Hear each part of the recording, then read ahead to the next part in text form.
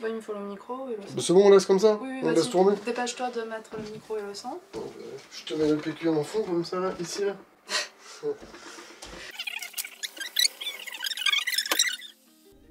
C'est bon? Ok. Euh, ça fait un petit moment que j'ai pas écrit, et donc quand on n'écrit pas, on relit ce qu'on a fait. Et alors que j'étais en train de relire les premières pages de mon nouveau roman, je me suis demandé Si c'était pas de la merde.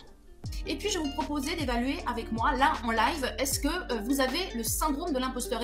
Et c'est ce qu'on appelle le syndrome de l'imposteur. au syndrome de l'imposteur. Syndrome de l'imposteur, quelque chose qui me frappe à chaque fois avec ce syndrome de l'imposteur, c'est qu'en général, les gens qui en parlent, eh bien, ce sont des auteurs qui sont plutôt mauvais, que ce soit au niveau de la littérature ou des réalisateurs.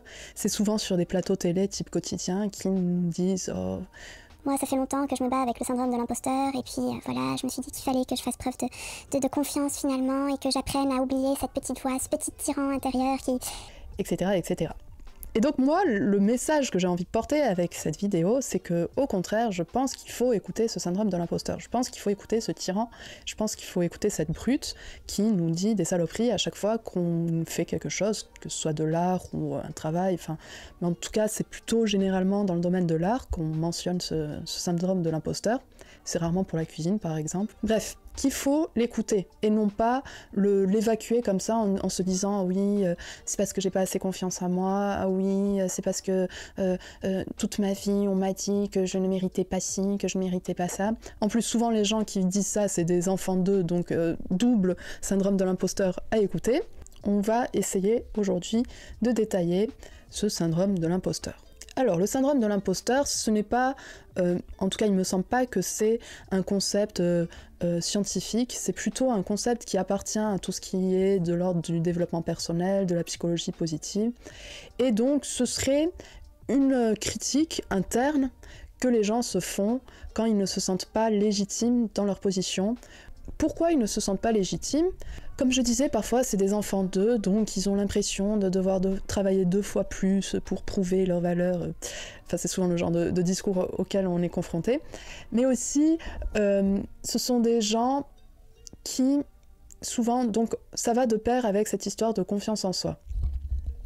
La confiance en soi, c'est un des concepts, enfin c'est un des, mots marchands les plus utilisés dans le développement personnel, parce que ben, finalement c'est quelque chose qui nous touche tous. C'est vrai qu'à des degrés divers, on est toujours amené à se questionner sur nos capacités, sur nos qualités, sur notre talent, euh, dans un domaine, dans l'autre. Bref, c'est une question qui, qui surgit assez souvent dans nos esprits, et donc si c'est quelque chose qui touche une grande part de la population, c'est aussi une grande part de marché. Donc, on va souvent, enfin en tout cas la psychologie positive et le développement personnel vont souvent mettre en valeur ce type de, de j'ai envie de dire d'argument marketing presque, que tel livre va pouvoir aider à renforcer la confiance en soi, et le syndrome de l'imposteur est vu comme un obstacle à cette confiance en soi. Comme je disais, c'est souvent, il est souvent personnalisé comme une voix qui serait, enfin je sais pas, là peut-être que je schématise beaucoup, mais qui serait une sorte de surmoi hérité de nos parents et de nos professeurs et de toutes les gens qui ont pu nous critiquer. Et donc il faudrait lui faire la peau, il faudrait ne pas l'écouter parce qu'il ne connaît rien de notre véritable valeur. Ce serait intéressant en fait de se demander pourquoi il faudrait liquider ce syndrome de l'imposteur. Et moi je pense qu'il y a quelque chose, une sorte de souci méritocratique.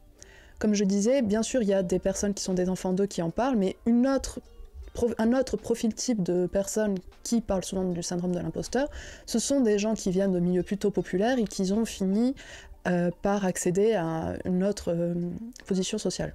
Je pense par exemple à des films comme Lena Situation, ce genre de personnes, et ce qui souvent disent que la meilleure solution pour vaincre ce syndrome de l'imposteur, c'est le travail, euh, le fait de ne rien lâcher, etc. etc. En fait, avec ce, ce concept de syndrome de l'imposteur, on est vraiment, encore une fois, dans tout ce qui touche au développement personnel, au fait de tout le temps essayer de s'améliorer, d'être tout le temps une meilleure version de soi-même. D'ailleurs, je crois que c'était le titre de son livre, plus plus, s'optimiser quoi. Et donc il y a quelque chose de très euh, libéral dans cette vision-là. C'est-à-dire que l'homme est en perpétuelle évolution vers une version meilleure, vers une optimisation, un peu comme un iPhone 13 qui passe au 14, puis au 15, et puis je ne sais pas où on en est avec les iPhones. En fait, le gros problème avec ça, c'est que ça ne demande même pas un changement en profondeur, une vraie amélioration de ses capacités sur tel ou tel domaine, mais plutôt sa perception de ses capacités sur ce domaine. On ne va jamais s'interroger sur sa véritable légitimité à être à telle place, va toujours se dire que finalement ces petites voix intérieures ne sont là que pour nous rabaisser et qu'il n'y a jamais une part de vérité dans ce qu'elles disent. Et donc vous me direz, mais quel est le rapport avec la littérature? Vous auriez raison. En fait, je pense que le syndrome de l'imposteur, c'est quelque chose, comme je disais, qui est souvent mentionné dans le domaine de l'art, et dans la littérature, c'est quelque chose que je vois souvent. Je vois souvent des auteurs, je sais pas, par exemple Panayotis Pascot ou ce genre-là, sur ces plateaux-là, mentionner le syndrome de l'imposteur, mais je pense que le problème, en fait, dans ce genre de cas, c'est qu'on a affaire à une entreprise presque manipulatrice pour qu'on s'identifie à lui, puisque nous aussi on manque de confiance, et que du coup notre capacité critique pour évaluer ou juger euh, son œuvre, quoi, son livre, eh ben, pour qu'elle soit amoindrie. En fait, souvent j'ai l'impression que les gens qui en parlent de ce syndrome, ils sont là à agiter une sorte de drapeau blanc et de dire ah s'il vous plaît ayez pitié euh, s'il vous plaît je sais. C'est même pas en fait je sais que c'est de la merde. Donc ayez pitié c'est presque même plutôt ce n'est pas de la merde. J'ai eu tort en pensant ça. Je, je ne devrais pas me remettre en question. Je devrais plus me faire confiance. Moi la seule raison pour laquelle je pense qu'il est important de parler du syndrome de l'imposteur, c'est justement pour l'écouter. Il faut écouter nos syndromes de l'imposteur. Il faut que Panayotis et Pascot euh, écoutent son syndrome de l'imposteur. Parce que c'est une petite voix qui est là qui nous aide en tout cas à ne pas nous endormir sur nos lauriers. Comme je disais, est-ce qu'il faut le prendre d'une manière très euh, presque macroniste à se dire oui, euh, ouais, enfin franchement, c'est de la merde ce que j'ai fait, mais je vais encore travailler, je vais m'améliorer et tout? Non. Par contre, ça peut nous aider à nous remettre en question, à nous dire ce que tu as fait, c'est peut-être pas si bon, peut-être que tu n'es pas si bon dans ce domaine, peut-être que malgré tout le travail que tu feras, tu n'arriveras jamais à égaler les auteurs que tu apprécies, les artistes qui te, donnent vraiment envie de faire ce que tu fais, mais c'est pas grave. En fait, on n'est peut-être pas tous faits pour être des grands auteurs. C'est une manière de nous dire que l'écriture, c'est comme la lecture, c'est quelque chose qui ne doit pas avoir un but avec un, résultat sonnant et trébuchant à la fin de notre séance ou à la fin de notre livre.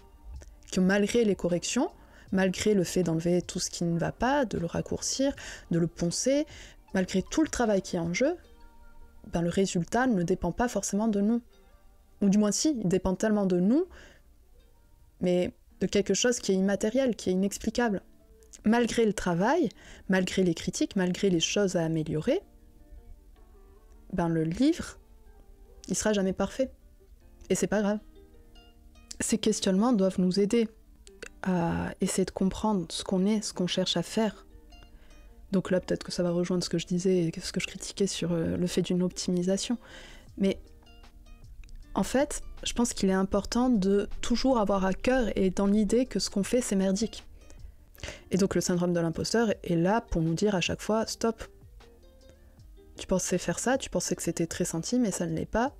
Tu pensais euh, mériter telle chose, mais tu ne le mérites pas parce que peut-être que quelqu'un ailleurs aura écrit autant et ne méritera jamais ta place, quoi.